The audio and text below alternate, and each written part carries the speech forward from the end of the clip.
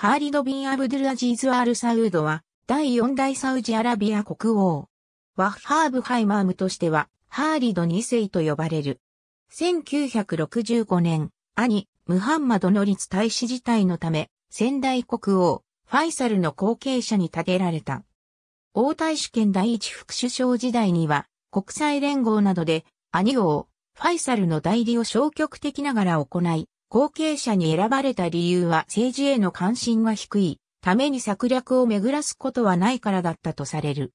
1975年にファイサルが暗殺されると即位した。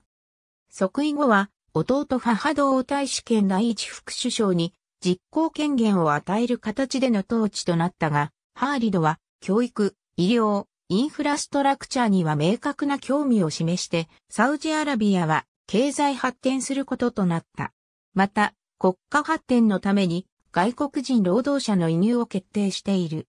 1975年4月の合意により、ブライミーオアシスをめぐるアブダビ首長国及びオマーンとの領土問題を解決した。3カ国間の長年の懸案を解決した。同年、閣僚を評議会改造に伴い、ファハド王太子を副首相に指名した。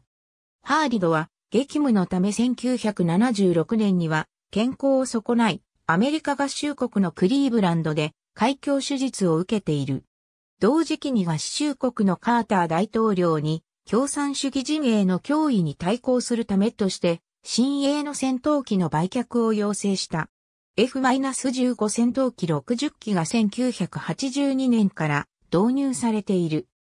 サウジアラビアについて伝統主義はもはや有力な勢力ではないとの見解もあったが、1979年11月20日、真っ赤の大モスクを少なくとも500人に及ぶ反体制派が占拠した事件は、このような見解が誤りであることを示した。1981年には湾岸協力会議を結成した。同年、キングファイサル国際省イスラーム法師部門受賞。サウード家には心臓発作で亡くなる者が多く、旅行中の発作に備え手術室を設置したボーイング747を購入していたが、1982年6月13日、やはりハーリドも心臓発作で崩御し、ファハドが後を継いだ。ハーリドを記念したものとして、その名を冠したリアドの国際空港キング、ハーリド国際空港及び軍事都市、ハーリド国王軍事都市などがある。ありがとうございます。